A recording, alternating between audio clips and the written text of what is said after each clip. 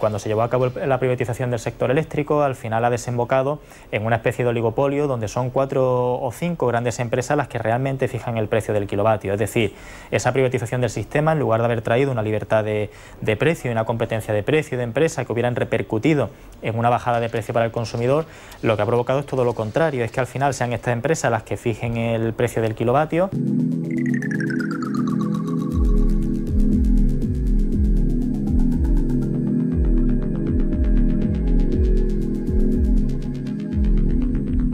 Suspensión significa que bajamos el tipo a tipo cero y eh, porque entendemos que hay una situación excepcional que, tiene que trasladarse algún tipo de, apoyo y de minoración del impacto a las familias, pero forma parte también de esos eh, elementos que hay que ver en su conjunto a la hora de hacer un análisis sobre cuál es el sistema fiscal que requiere el sistema energético.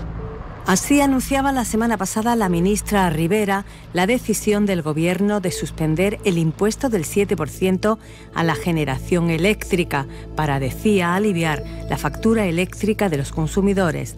Una medida que supone la eliminación de un impuesto que se había inventado un anterior gobierno y que va a repercutir al final la factura media del consumidor entre 2 o 3 euros, es una medida totalmente irrisoria para una situación, como decía, de urgencia nacional en la que nos encontramos y de pobreza energética. Desde FACO entendemos que no es de recibo, que un suministro que es esencial se vea encarecido por un 21% de IVA nos parece una barbaridad y de hecho nosotros hemos solicitado al gobierno porque entendemos que legalmente es posible llevar a cabo esta medida que ese IVA se, eh, se reduzca al IVA mínimo posible que, recoge nuestra legislación que si no me falla la memoria ahora mismo es de un 4%.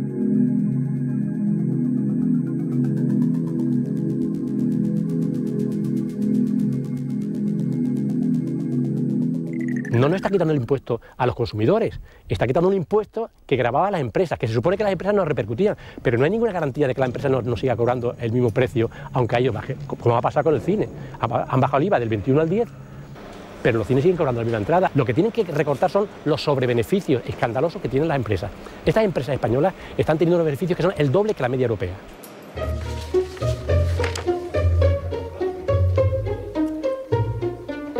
Y mientras se dan las condiciones que disminuyan los costes que graban la energía, ¿qué puede hacer el consumidor para abaratar su factura?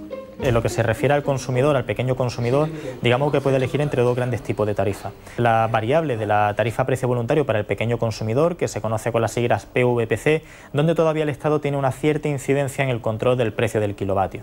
Además, en esta tarifa, si tenemos instalado un contador inteligente integrado en el sistema de telegestión, podremos saber cuál es el precio del kilovatio con un día de antelación mirándolo en la web de, red eléctrica. La mayoría de los usuarios ahora mismo pueden ver en su factura que pagan más por la potencia contratada que por lo que realmente consume. Bajar un escalón de la potencia. El que tenga 5,2, que pase a 4,6. Baja la potencia, un escalón significa unos 80-90 euros al año. Intentar adquirir electrodomésticos que sean de, bajo consumo y también el aislamiento térmico de, de una vivienda pues suele ser fundamental.